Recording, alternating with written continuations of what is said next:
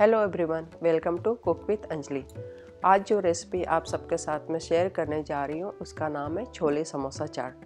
तो चलिए सबसे पहले छोले बनाते हैं। छोले बनाने के लिए सबसे पहले एक पैन में ऑयल डाला है और ऑयल को गर्म होने देंगे। उसके बाद जीरा डालेंगे, तेज पत्ता dry red chilli black cardamom green cardamom cinnamon stick और लौंग है। डालने के बाद अब इसको क्रैकल होने देंगे। और जब ये क्रैकल हो जाए तो ये एक प्याज और दो, तीन टमाटर की मैंने प्यूरी बनाकर रखा हुआ है पहले से ही। इसको डाल देंगे और एक, दो मिनट तक इसको चलाते हुए कुक कर लेंगे। एक, दो मिनट होने के बाद जो है, अब ये जिंजर का पेस्ट, गार्लिक का पेस्ट जिंजर गार्लिक का पेस्ट डालने के बाद अब हम इसको ड्राई होने तक पका लेंगे।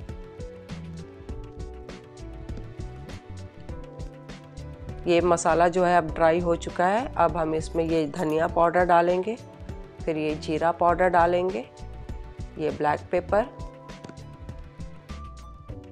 लाल मिर्च पाउडर, हल्दी,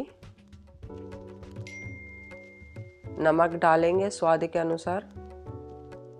सबको डालने के बाद इसको फिर से एक दो मिनट तक मसालों को अच्छे से भूनेंगे, जब तक कि इसका ऑयल जो है वो सेपरेट ना हो जाए।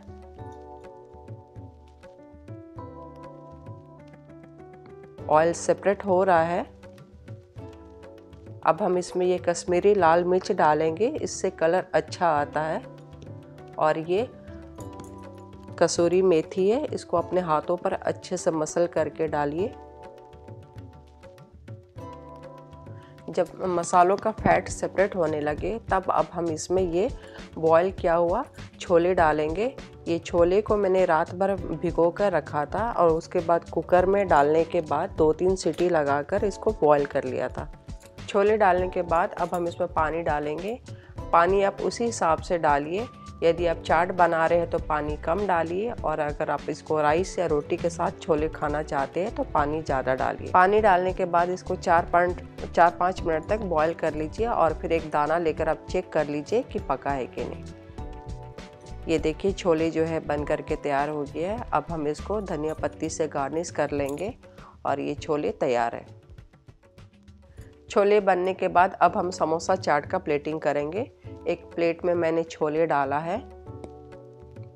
छोले डालने के बाद जो है, ये मैंने पहले से ही तैयार समोसा है, जो मैं पहले ही बना कर रख ली थी। आप इसका रेसिपी मेरे चैनल पर देख सकते हैं। समोसा डालने के बाद अब हम इसमें मीठा दही डालेंगे।